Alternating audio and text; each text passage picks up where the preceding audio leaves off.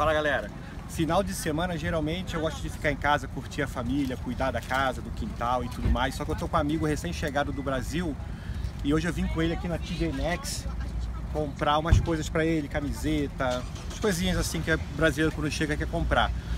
E quando você é mordido pelo mosquito do arbitragem, não tem jeito. Toda loja que você entra, você tem que começar a escanear os produtos. E no final das contas, acabei gastando 100 dólares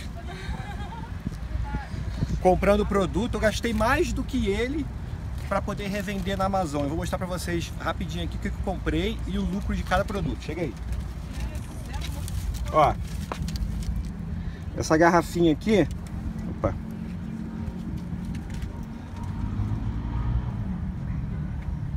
essa garrafinha aqui eu paguei 5,99 ela me dá um retorno de 11,33, quer dizer, vou estar tá ganhando aqui uns 5 dólares em cima dela, 4 e pouquinho, quase 100%. Tem acho que 3 ou 4 dela. Esse headphone eu paguei também 5,99. Olha o rank dele, é número 113 em eletrônicos, ele me sobra 10,66, também vou ganhar 4 dólares e pouquinho, quase 100%, só que o rank dele é excelente. Então tenho dois dele aqui. Eu tenho isso aqui. Eu também paguei 5,99. Ele me sobra 22 dólares. Tá? Então com isso, só com esse aqui eu vou ganhar o que? 16 dólares. Né? Vamos lá. Essa luva aqui Paguei 7,99. Ela me sobra 15,81. Entendeu? Então vou ganhar aqui 7 dólares e pouquinho. Acho que tem duas ou três dela.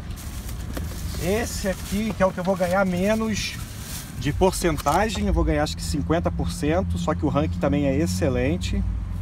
Né? Esse aqui eu paguei R$19,99 nele, ele me sobra 31, então vou estar tá ganhando aí 11 dólares e 40 centavos em cima dele, vou ganhar 50%, mas mesmo assim são 11 dólares, o rank é excelente, eu vendo rapidinho.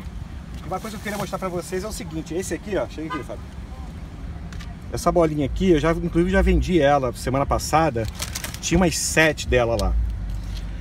O preço dela, R$ 4,99. Você pode ver aqui que sobra 5, na verdade está sobrando 1 dólar. Como eu já tinha vendido ela anteriormente, eu falei, vou dar uma olhada para ver os anúncios que às vezes é uma pessoa só que está que tá vendendo e que está colocando o preço lá embaixo. Aí como você pode ver, olha que surpresa que eu tive desagradável. É um brasileiro, gente. Brazilian Gift. O cara está vendendo por 11 dólares, sendo que todo mundo depois dele vende por 17. Entendeu? Pessoal, se é você esse Brazilian Griffith, vamos pensar um pouquinho, entendeu? Bota, se está todo mundo vendendo a 17, bota o seu preço a 17, todo mundo ganha. Não adianta você querer se desesperar.